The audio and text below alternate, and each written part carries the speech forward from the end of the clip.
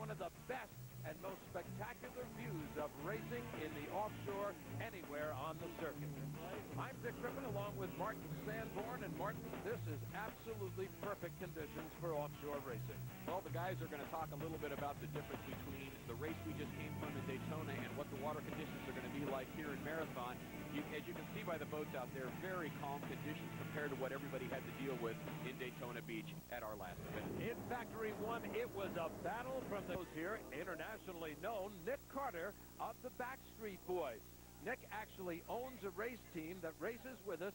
That team is not racing today, but he's certainly signing autographs. We're from Tampa, so we follow them everywhere.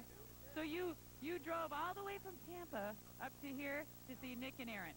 Daytona, too. And you followed them from Daytona as well. Uh-huh. You guys aren't stalkers, are you? You were telling me earlier that uh, your guys are already out there, and uh, they certainly set the bar pretty high, winning, winning so strong in Daytona.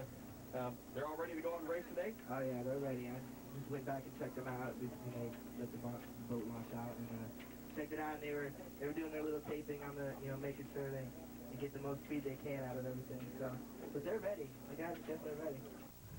Nick Carter Racing